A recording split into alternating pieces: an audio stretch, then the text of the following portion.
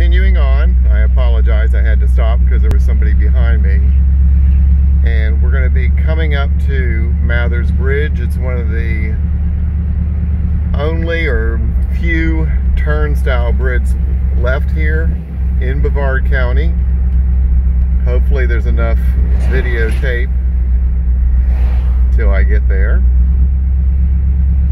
This is a very narrow parcel of Merritt Island. I'm at the very tip. Literally, this is the Indian River, and on the other side is the Grand Canal. So we're on a very narrow stretch right here, and you'll see that when I'm coming just around the corner down here.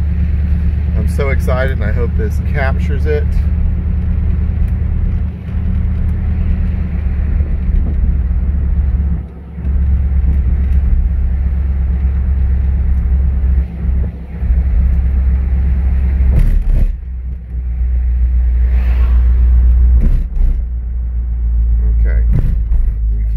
Much more Florida than this. Here's some people fishing.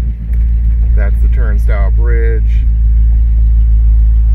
One of my favorite views out the window there.